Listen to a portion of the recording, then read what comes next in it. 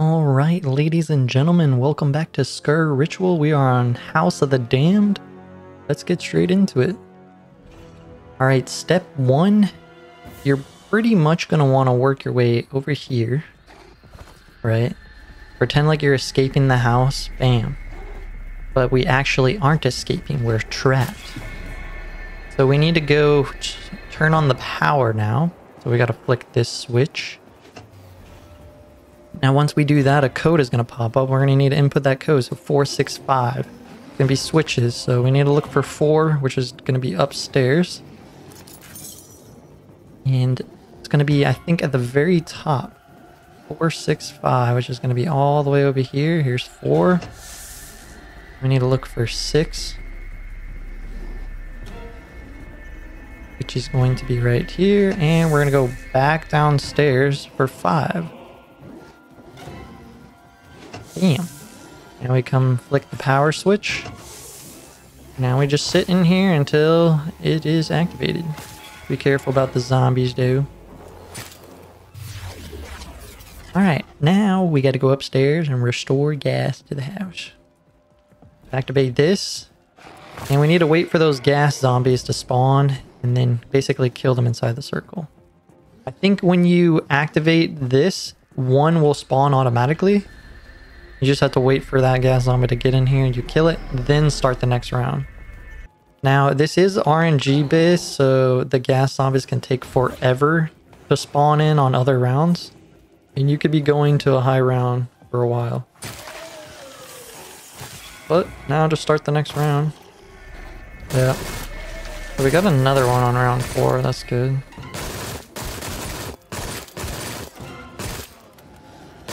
There we go. Need one more. Thank God.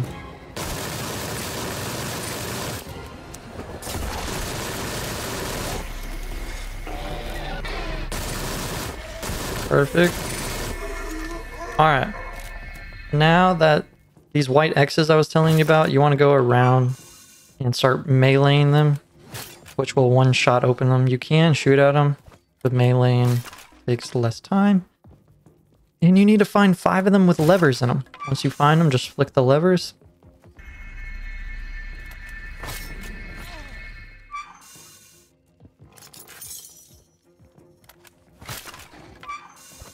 Alright, and we just need one more. Perfect.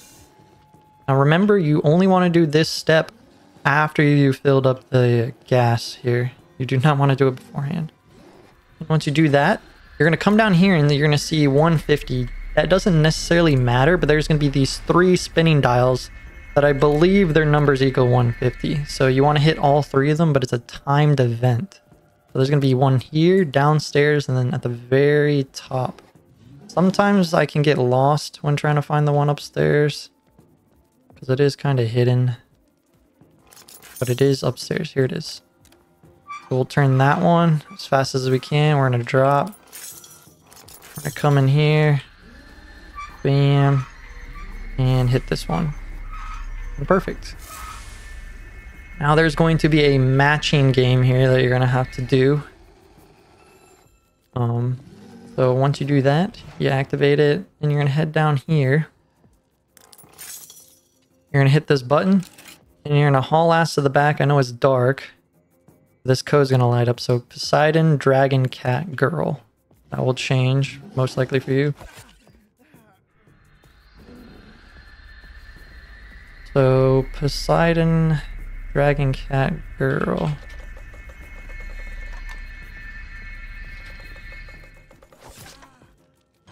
There we go. Once that opens up, you're gonna have to get their intestines from the zombies and put them inside. You only have to get five of them, which is pretty easy to do.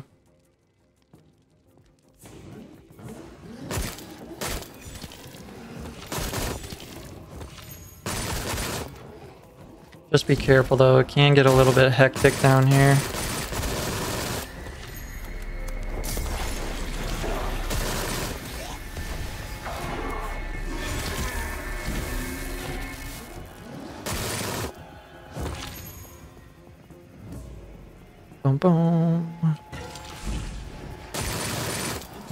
Once you're done with that, you can pretty much go outside now. And the power is activated to the house, so you can start buying perks. So the first perk you want to really buy is Swift Death, so you can get that increased um, bullets. And that DPS is going to go up. And then you also want to head upstairs into this room here. It's going to be blocked from both sides, but this is extra health. Extra health is going to be good for this map for sure. And then all the other ones are pretty much scattered around the area. But now you can exit the house. And you're going to want to go interact with this little altar over here. This rock, basically. Now we need to go acquire three materials, basically. So we're actually going to start off with this one over here. You can start with whichever one, but this one isn't bad. We're gonna come over here, grab this old lady's head. Watch out for uh, Mr. Thomas. Pretty much gonna kill him. So now that Thomas is out of the way, you're gonna take the mother's head here. You're gonna go down into the basement here, right? And you're gonna come here, interact with this. Now you want to die here. And you're gonna be like, no, I don't want to die, but it's alright. You'll basically get revived after this step for free. And you get to still keep your token. So once you die, this hidden pathway is gonna open up, right? You're just gonna come down here, interact with the book, and bam, you're back alive. Now, we need to search and destroy for the seals protecting the book. So we're going to have to take Mother's Head. In order to find the seals, just listen for the sound they make. And I think they're mainly inside the house upstairs and on the first floor. So here's one. Now there's only three that really spawn, so you don't got to worry about finding the wrong one. There's only three. Here's another.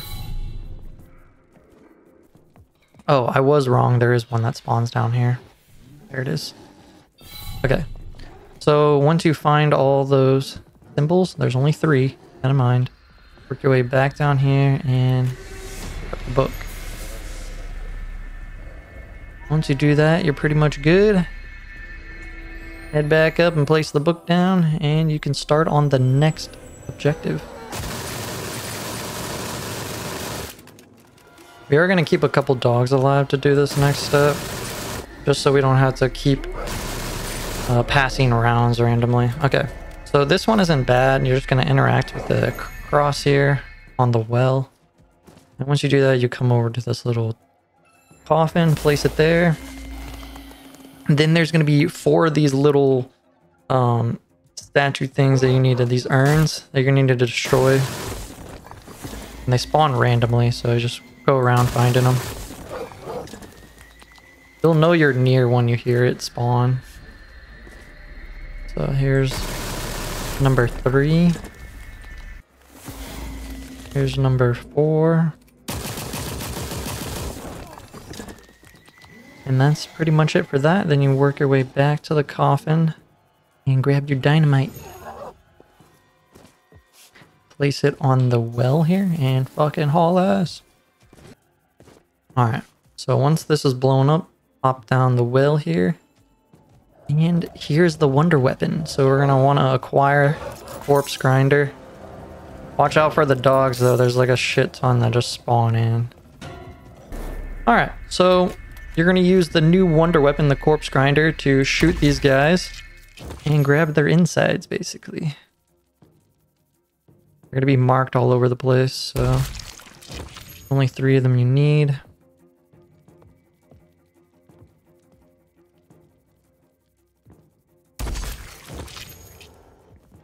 There we go. Once we get all three, we're going to head back outside. And we're going to place all of the intestines in here, or their hearts, basically. Alright, and we can do the last objective, which is back inside.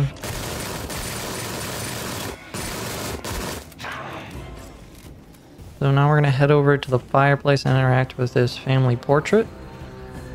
And now we need to defeat the trio, basically. So what that means is um, Abraham, Thomas, and uh, Isaac are going to spawn in. So we got to kill them. Or actually, Abraham, Isaac, and the stranger, not Thomas.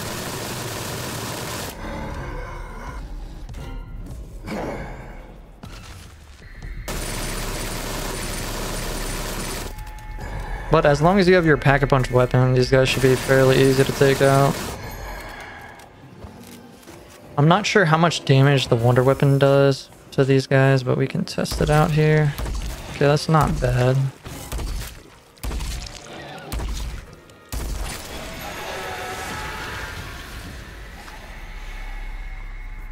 Alright, the stranger is always the slowest here, so...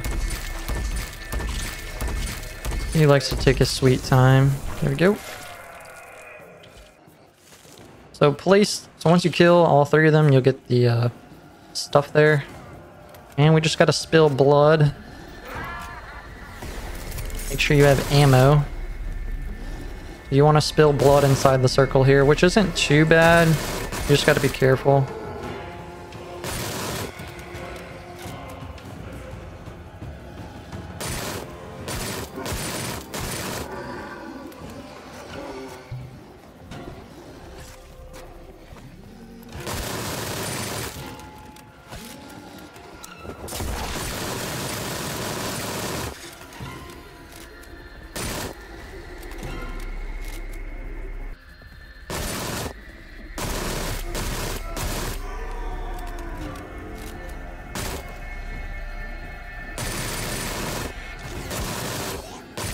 Alright, so once you complete that, pick up the family portrait and work your way back outside.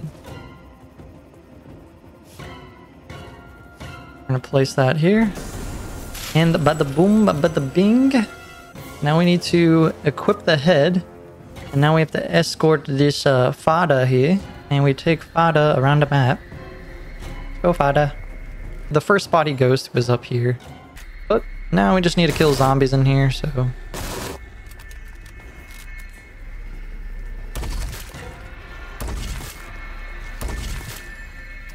Alright, so once you do that, we're gonna have to escort fodder again. Now we gotta escort fodder again. Take him inside. And we start here, but before we do that, we're gonna go upstairs and actually get stallions so we can move a little bit faster.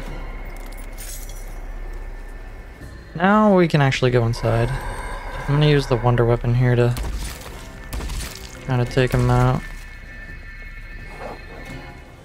Alright, father. Go, go, go. Holy shit. Yeah, he's going upstairs. You know. Oh, shit. Okay. Die. Die, dogs, die.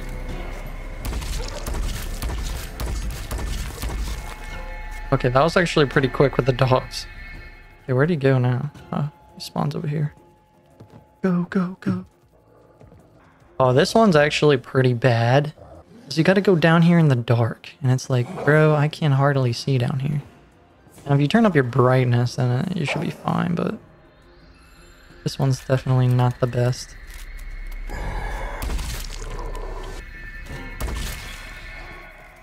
Okay, insta-kill is actually goaded.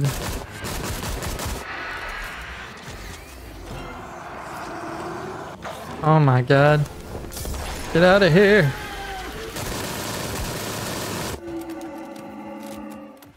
Where's father at? Go, father, go. God damn it, you're gonna get me killed, you... Where'd he go? I think he goes this way, yeah. You, you bastard. Might as well take that. Alright, so once he gets escorted to the rock, he's there, but we're actually going to take care of the abomination situation first.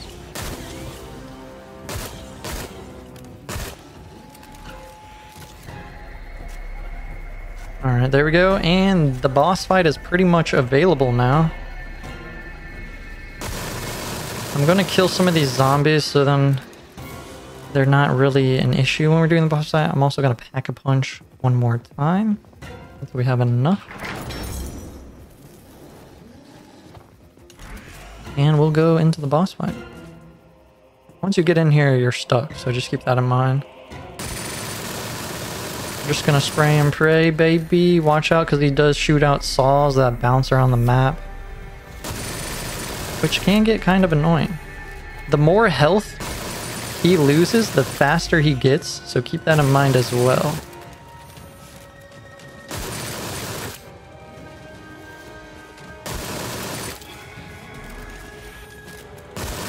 Like, this man is fucking beating Gonzalez over here. And then also he sets the floor on fire. Which isn't too bad necessarily. You just gotta keep that in mind.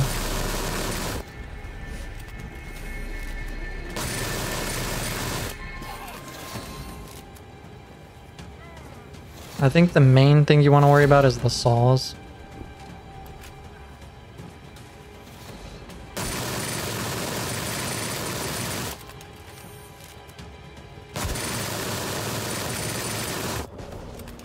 Alright. But that is pretty much it for House of the Damned. We completed the main story. But we are definitely going to be doing the side quest here. So I'll catch you guys in the next video. Peace.